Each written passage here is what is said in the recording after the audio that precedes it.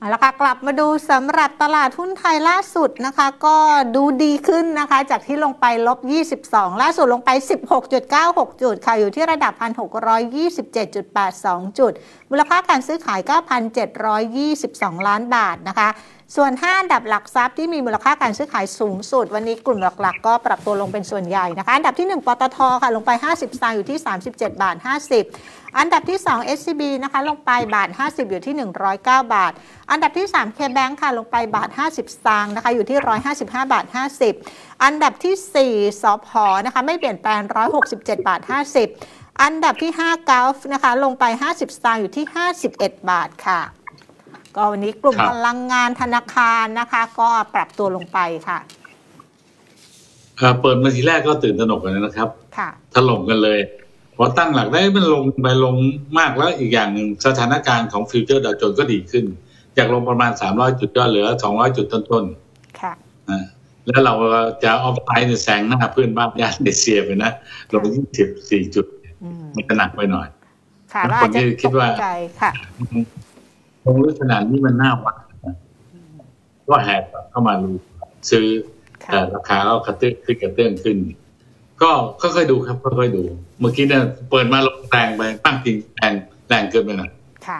อ่าแต่ตอนนี้เริ่มนะครับตั้งหลักได้แล้ว แต่ว่าจะยังผันผวนมากน้อยแค่ไหนวันนี้นะคะ แนวรับ 1,620 จุดนะคะ จะรับอยู่หรือไม่เราไปสอบถามกับคุณทวัชชัยอัศวพรชัยนะคะ รองกรรมการผู้จัดการบริษัท ASL ค่ะ สวัสดีค่ะ คุณทวัชชัยค่ะ สวัสดีครับ อ่าเดี๋ยวสายหลุดนะคะ เดี๋ยวสักครู่หนึ่งให้ทางน้องทีมงานติดต่อกลับไปนิดหนึ่งนะคะ ก็ดูอย่างที่คุณสุนันท์บอกนะคะ พอเปิดตลาดขึ้นมาเนี่ยช่วงแรกก็อาจจะรับข่าวกันไปแต่พอตั้งหลักได้เนี่ยมันลงไปพอสมควรแล้วอะนะคะ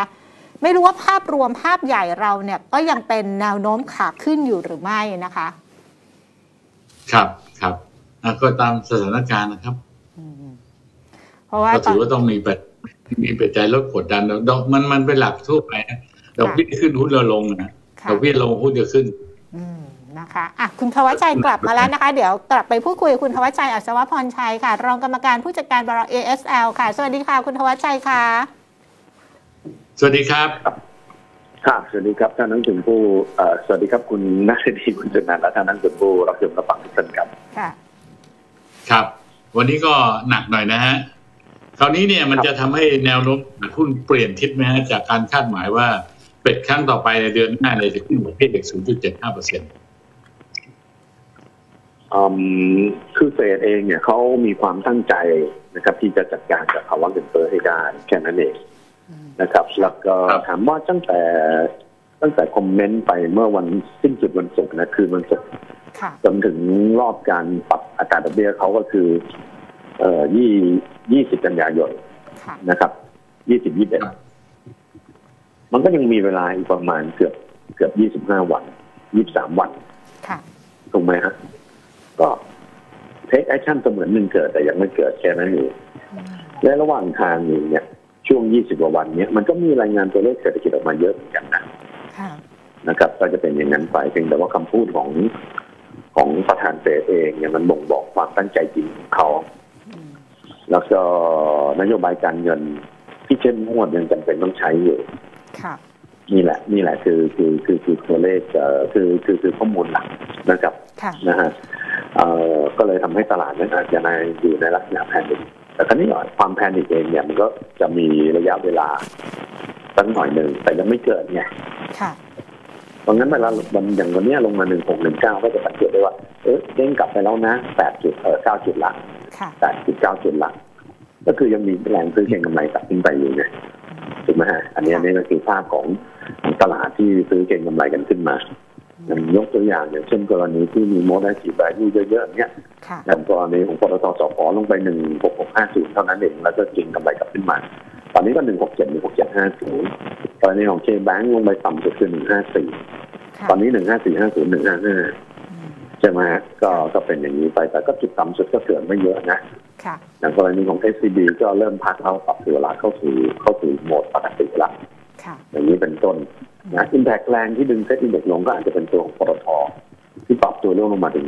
75สตางค์ปตทนี่จะมีอิมแพกต่อตลาดเยอะนะครับอย่างปตทเนี่ยสมมติว่า เรามองดูจุดต่ำเขาคือสามสิบเจ็ดบาทนะครับค่ะ แล้วก็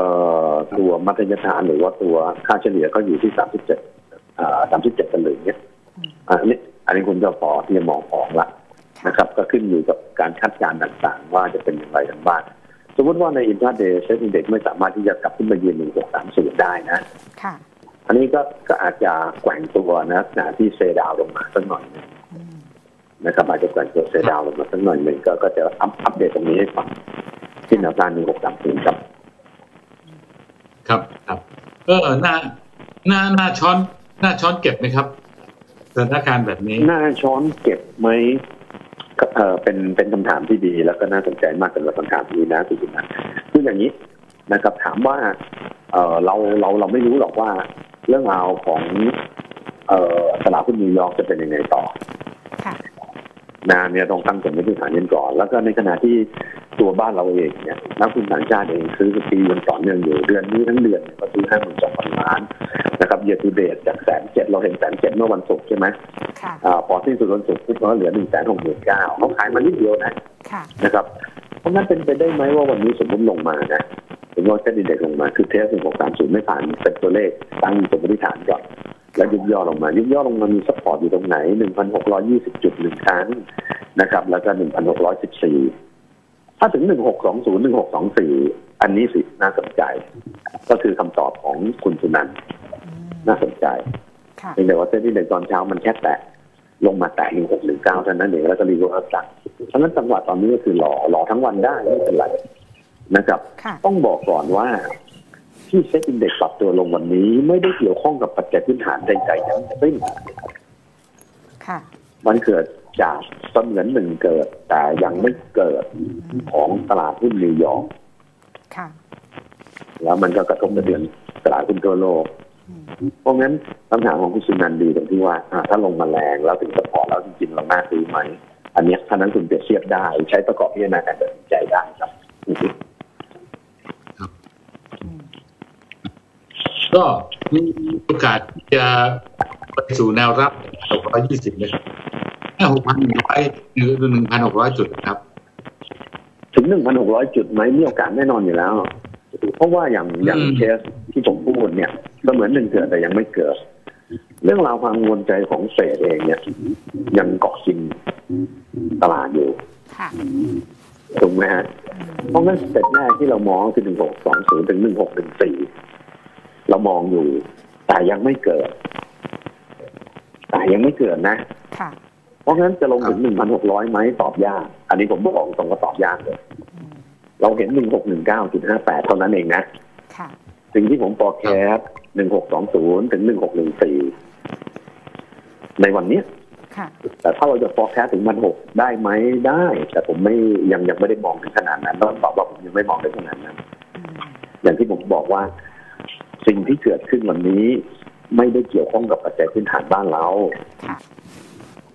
เกิดเพราะต่างประเทศเป็นที่เป็นที่เขาที่เดียวอืมแต่มันมีเอฟเฟกต์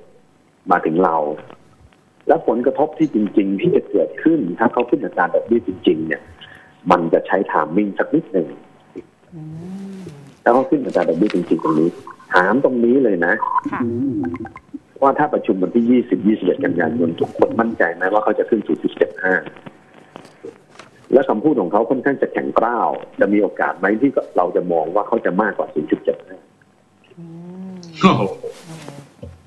เออ นี่ไงถ้าไปนึกคำพูดเขาค่อนแข็งขัดอืมแข็งค่อนข้างจะแข็งกร้าวค่ะมันก็อาจจะเกิดขึ้นได้เหมือนกันค่ะเพราะงั้นมันเป็นอะไรที่คาดการณ์ทั้งหมดเลยอืมแต่ตอนนี้เนี่ยตอบคำถามว่า เรารอดูก่อนไหมที่หนึ่งหกสองศูนย์ถึงหนึ่งหกหนึ่งสี่ค่ะแล้วเราก็จะเมินกันอีกครั้งหนึ่งดีกว่าอืมเพ ราะมันไม่ได้เกี่ยวข้องกับปัจจัยพื้นฐานบ้านเราค่ะเรารอดูตรงนั้นก่อนดีกว่าเนาะอืมฝรั่งฝรั่ง มีโอกาสถอยทับไหมครับเพราะว่าส่วนต่างอัตราดอกเบี้ยในประเทศกับต่างประเทศกับสหรัฐนี่มันแตกต่างกันทางกันด้วยมีแนวโน้มจะต่างกันมากขึ้นทุกทีที่ผ่านมาเราก็เคยแตกต่างกันเยอะอยู่พอสมควรนะครับ ถ้าเขาขึ้นอีกเราก็มีโอกาสที่จะขึ้นอัตราดอกเบี้ยอีกเหมือนกันมีโอกาสเหมือนกัน แต่แต่ผมเชื่อว่ากรงหรือว่าแบงก์ชาติธนาคารแห่งประเทศไทยเราเองก็ต้องพิจารณาถึงการขึ้นอัตราดอกเบี้ยและผลกระทบที่เกิดขึ้นต่อแมโครอีโคโนมิกนะค่ะต้องบอกอย่างนี้ก่อนนะครับเขาขึ้น 0.75 สองครั้ง เราขึ้นอัตราดอกเบี้ยหนึ่งครั้งอืมลองเปรียบเทียบสัดส่วนดู อ่า อันนี้อาอาอาจจะพอเห็นคำตอบเนาะอาจจะพอเห็นคำตอบได้ นะครับค่ะแล้วก็ค่าเงินบาทของเรามันก็สะท้อนออกมาแล้วอะอืมเรื่องราวของการอ่อนค่าก็อ่อนค่าขึ้นมาจาก35ขึ้นมานี่ใกล้เคียงกับไฮเดิมแล้วนะค่ะใช่ไหมค่ะอันนี้มันก็สะท้อนออกมาให้เห็นภาพชัดเจนในคำถามของคุณสุนันท์อยู่แล้วอืมถูกไหมฮะครับนะครับก็จะเป็นอย่างนั้นไปถามว่าโอกาสที่จะอ่อนค่าทำนิวไฮขึ้นไปใหม่ไหมมันก็ไม่เหมือนกันอืมมันเป็นสองแรงบวกหนึ่งแรงบวกตอนนี้ที่ผมให้ก็คือ ตอนนี้เรายังไม่มีผู้ที่มาปฏิบัติหน้าที่ นายกรัฐมนตรีนะอ๋อค่ะมันแบงค์เนี่ยค่ะอ่าใช่ไหมมันแบงค์ไว้ อันนี้ก็ไม่ดีแล้วค่าเงินบาทก็จะซ้อนออกมาในลักษณะที่อ่อนค่าอืมค่ะตอนนี้คอมเพลทีกันเรื่องเรื่องดอกดอกเบี้ย ระหว่างประเทศสองประเทศค่ะก็ยังคอมเพลทีกันไม่ได้นะ เพราะเขายังไม่ขึ้นอืมเขายังไม่ขึ้นอัตราดอกเบี้ยจนกว่าจะถึงวันที่20ถึง21กันยายนค่ะเสมือนหนึ่งเกิดแต่ยังไม่เกิดไงอืมใช่ไหมเราต้องกลับมาอยู่ในแฟกต์ความเป็นจริงว่ามันยังไม่เกิด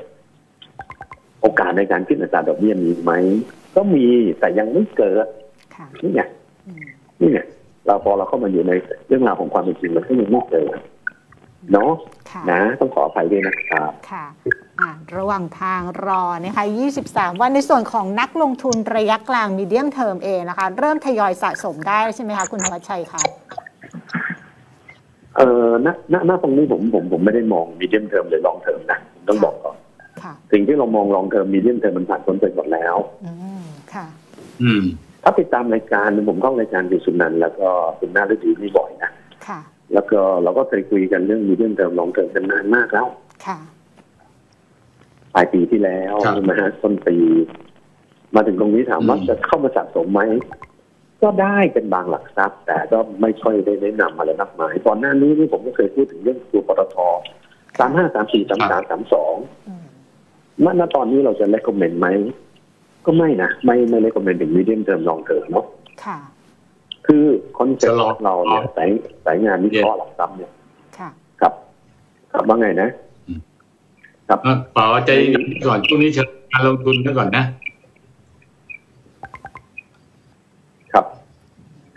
ครับเดี๋ยวครับเกิดอะไรขึ้นครับ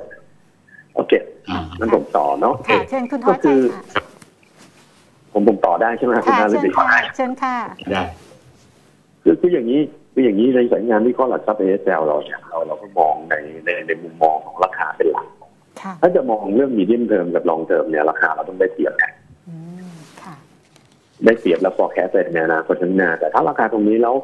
ได้เปรียบมากกว่าที่จะ forecast ไปในอนาคตข้างหน้านะไหมตอบว่าไม่นะอืมอืมนี่นี่คือหลักหลักการของเราในการวิเคราะห์ของเรานะค่ะครับวันนี้ก็สถานการณ์ล่าสุดก็ดีขึ้นนะครับ จากเปิดมาเนี่ย ไม่แน่นะครับ จะลบแค่หลักเดียวก็ได้ ยังไงก็ดูก็ตามก็ระหว่างทางก็ดูปัจจัยภายนอกด้วยกัน ดูตลาดหุ้นยุโรปตอนบ่ายอีกทีหนึงนะค่ะได้วันนี้ขอบคุณขอบคุณพัชชัยครับ ครับ ขอบคุณครับค่ะสยินวัสดีดีครับค่ะขอบคุณครับ สวัสดีครับ เอาละค่ะ กลับมาดูนะคะสำหรับตลาดหุ้นไทยล่าสุดนะคะดัชนีลงไป 16.84 จุดค่ะ อยู่ที่ระดับ 1,627.94 จุด มูลค่าการซื้อขาย